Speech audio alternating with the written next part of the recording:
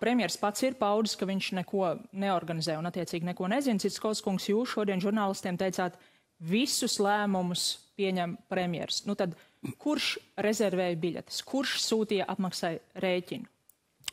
Tātad no pieejamās informācijas, ko mēs varam redzēt no valsts kontrolas starpziņojuma, tad pasūtījumu ir veicis ministra prezidenta birojas. Tas, tas ir vien, viennozīmīgi konstatēts, tad visos gadījumos pasūtījumu veids ministra prezidenta birojas.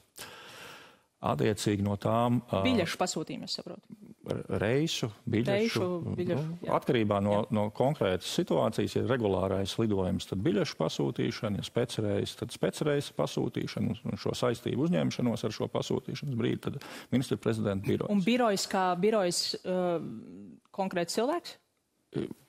ir konkrēts cilvēks, kas veids pasūtījumu, bet tas, ko min Korčāgena kungs, tad, tad ir jānoskaidro ar krimināla tiesiskām metodēm, krimināla procesa ietvaros, precīzi, kā notika lēmuma pieņemšana, kurš cilvēks, kurā brīdī, kādas darbības veica. Tad, tad lēmumu pieņem atbilstoši tām sniegtajām liecībām, ko sniedz personas, ka ministra prezidents pieņem lēmumu par to, kā konkrētajā gadījumā uh, tad, tiek organizēts darba, kalendārs, konsultējoties ar biroja amatpersonām. Un tiek izdarīts pasūtījums. Bet es pieņemu, ka nav vajadzīgas krimināla tiesiskās metodas, lai jūs, kā valsts kancelēs vadītājs, varētu pateikt, kurš atsūtīja rēķinu uz valsts kancelē apmaksai rēķina atsūta pēc pakalpojumu saņemšanas pakalpojumu sniedzējs.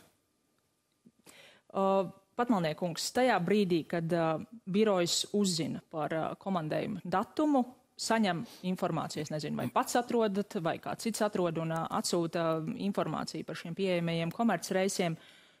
Nu, kurš ir tas, kurš tajā brīdī nolemj?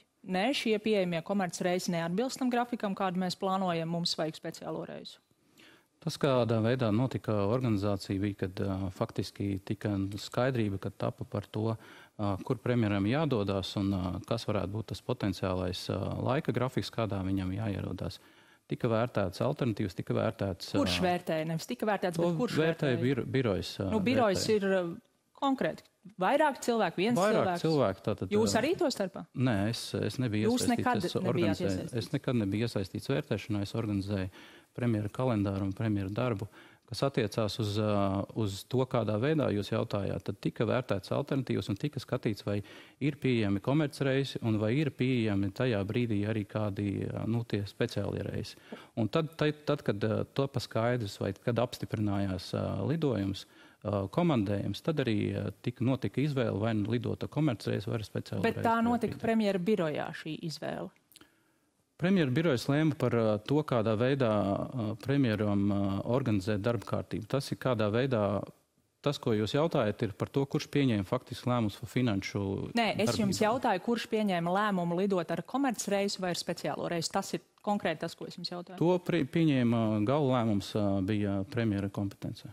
Premjera paša kompetencē? Viņš, mēs, mēs piedāvājam vairākas alternatīvas, un tajā skaitā arī, arī to, kāds, kāds varētu būt kalendārs. Tā ir skaitā, kādi ir iekšpolitiskie notikumi, kādi ir ārpolitiskie notikumi. Un, attiecīgi, tajā brīdī ir jāveic izvēle par to, vai būt Latvijā vienā brīdī, vai būt ārvalstīs tajā brīdī.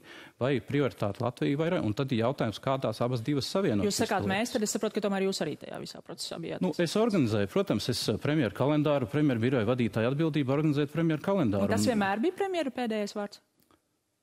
Visos gadījumos tika visas puses informētas, gan valsts kancelē, gan premjeras, gan premjeras biroja darbinieki par to, Jautājums, kuram pēdējais tiks. vārds bija?